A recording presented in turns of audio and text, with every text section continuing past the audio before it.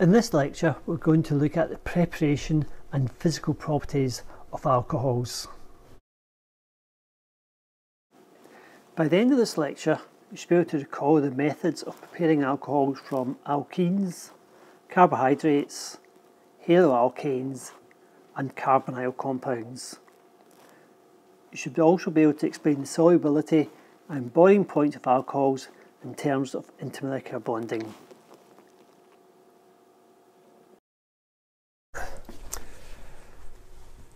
So far in section 2.4 we've now covered the introduction, the alkenes and the haloalkanes. Certainly the alkenes and the haloalkanes are by far and away the two biggest sections. They get a bit smaller from here on in.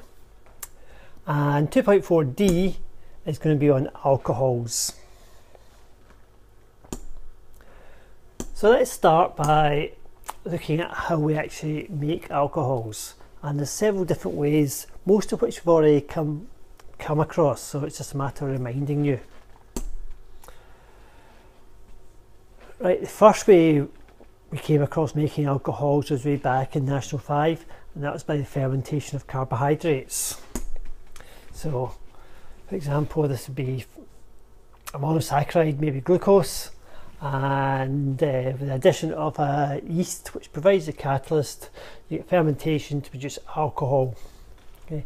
Of course by fermentation of carbohydrates you're limited to making ethanol. That's the only alcohol you can make by this process. You can make alcohols by substitution of haloalkanes as we just saw in the previous section. So here's our haloalkane carry out a nucleophilic substitution reaction. The nucleophile in this case is a hydroxide ion and you replace the bromine with a hydroxide group. And the conditions for this are be the hydroxide ion would be provided by either potassium hydroxide or sodium hydroxide dissolved in water. Okay. Remember, if it's dissolved in ethanol, you'd get an elimination reaction and you wouldn't get an alcohol. So potassium or sodium hydroxide dissolved in water. Another way that we came across in the alkene section was the hydration of alkenes.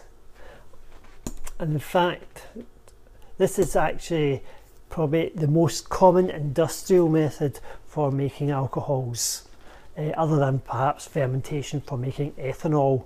But for making the other alcohols, this is the most common industrial method.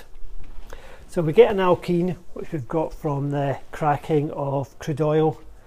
Uh, acid uh, catalyzed addition of water. So you break the double bond and add an H to one carbon and an OH to the other carbon. And it of course follow Markovnikov's rule. This is a symmetric alkene, so it doesn't matter what way around you do it, you get the same product, ethanol in this case. And remember, you already know the reaction mechanism for this reaction.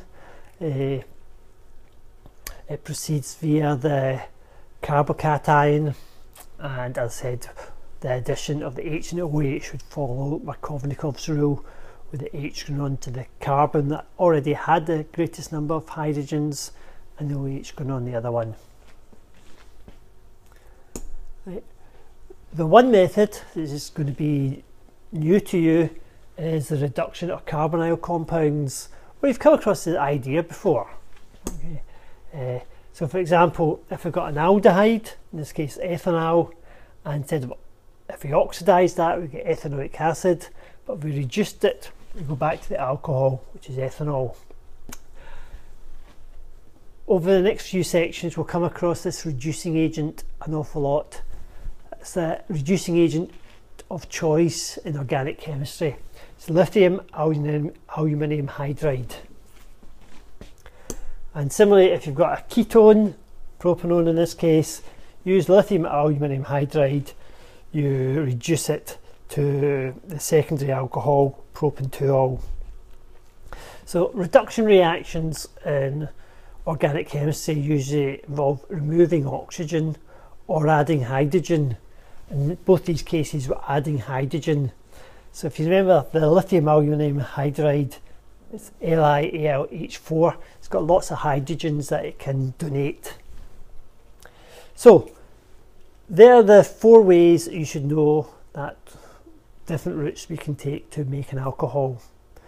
I now want to look at the physical properties of the alcohol. Yeah.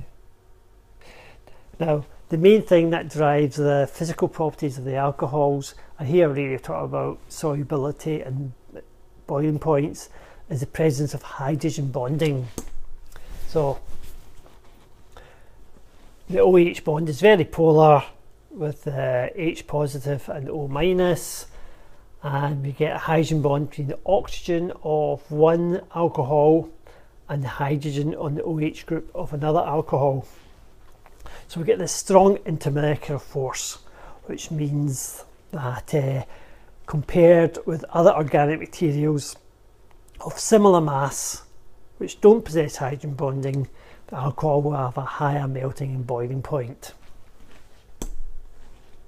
So they have higher melting and boiling points than other organic molecules of similar mass.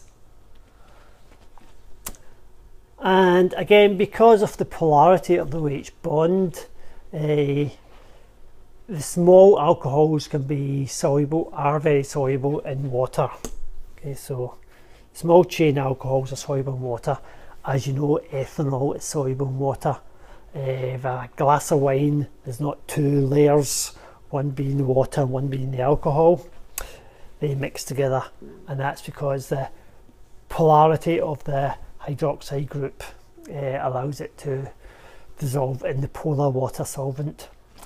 As you get bigger and bigger alcohols, uh, so you get this a longer and longer covalent part to the molecule, uh, then the polar the the solubility in water will decrease. So large alcohols tend not to be soluble in water, whereas the small ones are.